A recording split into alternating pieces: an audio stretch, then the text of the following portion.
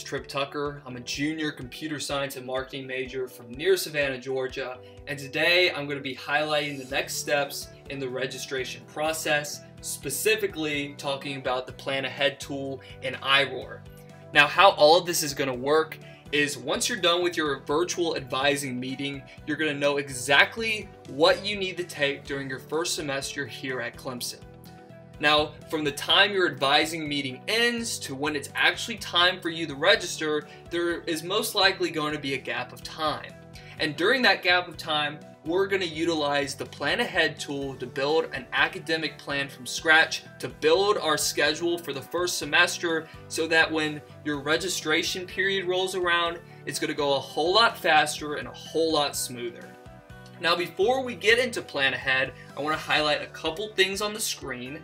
To the right over here, I have a mock advising sheet. These are just some of the classes I took during my first semester at Clemson. So we're going to be using this sheet for demo purposes.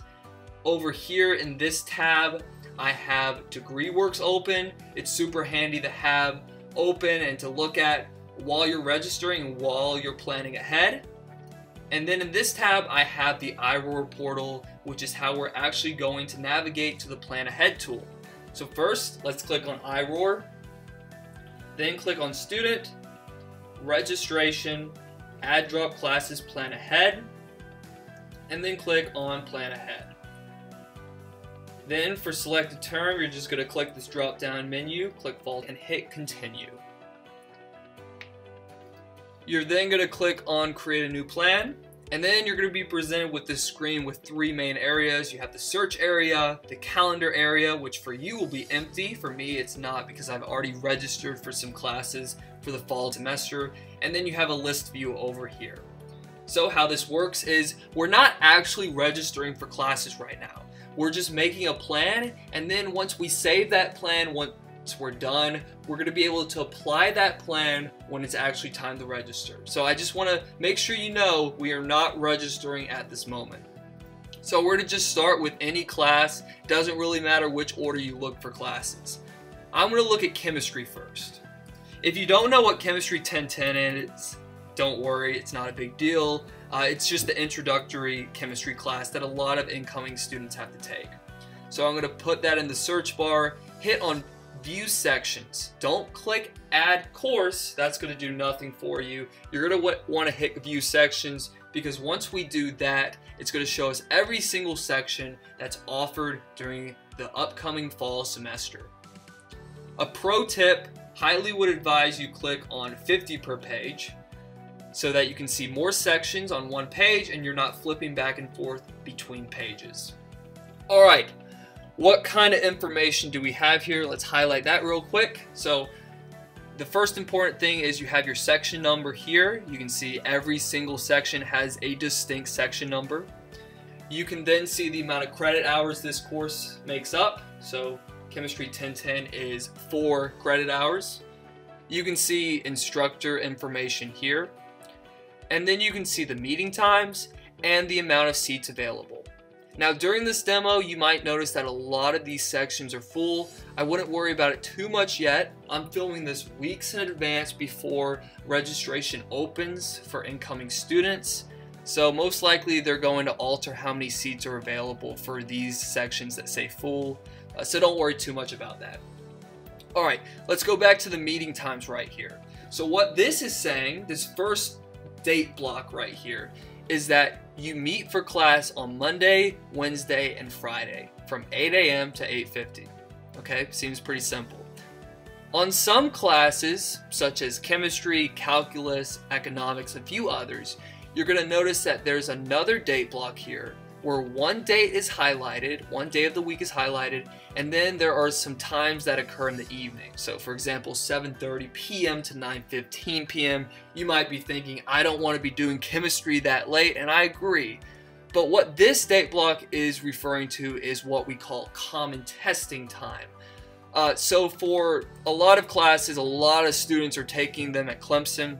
So what happens is whenever you have a midterm you usually have two or three a semester.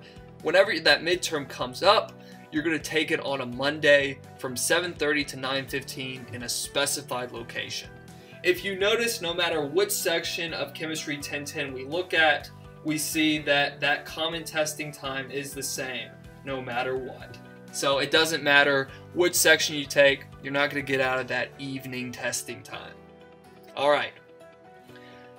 Now you might be tempted to hit add here because you know you like this section of general chemistry, but I advise you to click on this hyperlink real quick and check a couple things out. I would do this for every single class you're looking up. First, click on restrictions. Alright, this says no course restriction information is available. That's good. That means that we um, can sign up for this course. Now notice, if I scroll down here, let's say I wanted to add this section of chemistry, section 71. If I click on this section, go to restriction, it says must be enrolled in the honors college. So that means if I'm a member of the honors college, I can take this section. If I'm not a member of the honors college, I can't take this section. Now, Plan Ahead will let you add this course to your plan. But if you add it and you have a restriction, uh, you're going to get an error later on when you're registering, which is just going to cause a lot of stress. So make sure you're paying attention to those restrictions. All right, then we're going to check out the co-requisites.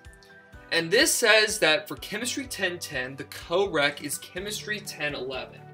What that means is if we want to take Chemistry 1010 during the fall semester, I also have to take Chemistry 1011 as well.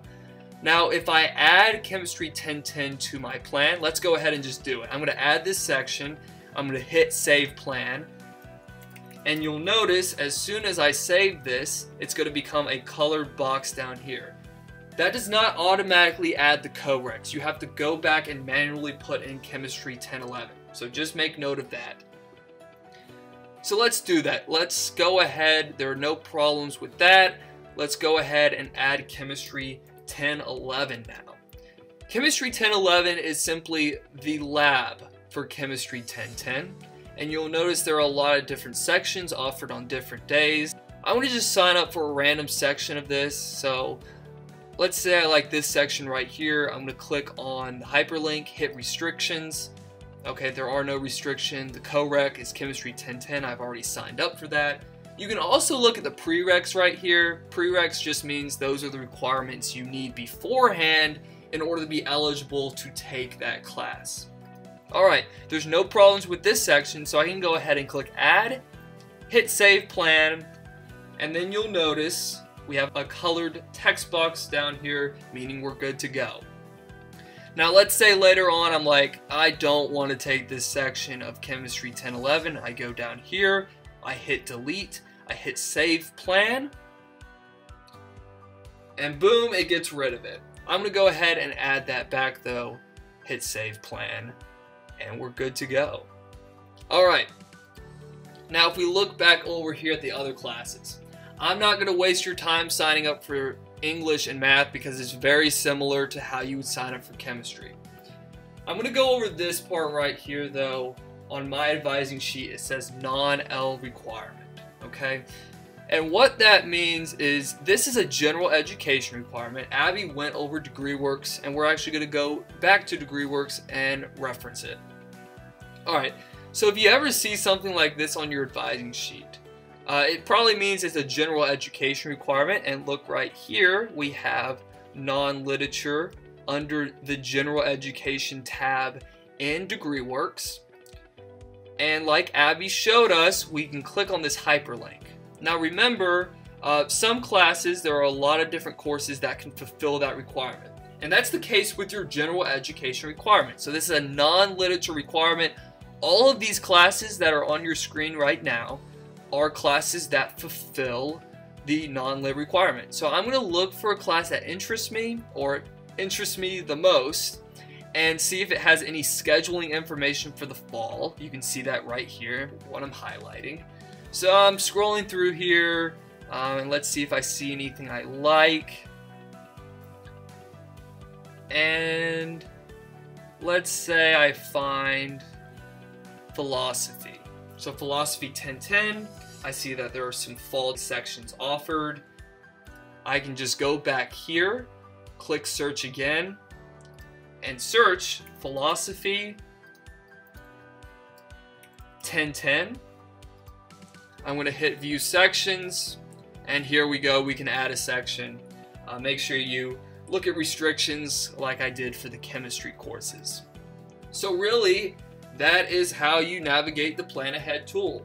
Now once I leave this page and save my plan I can always come back and view a plan. So if you want to periodically come back to your plan and make sure that our seats are still available, you can do that by clicking on enrollment slash waitlist. You can see that information right there. So you can alter your plan all the way up to when it's time to register. And Trinity is going to show you how you actually apply your plan during the registration period. And it's super smooth and very quick. The main tips here are make sure you just pay attention to the restrictions that's going to save you a whole lot of time later on. Thanks for watching and go Tigers!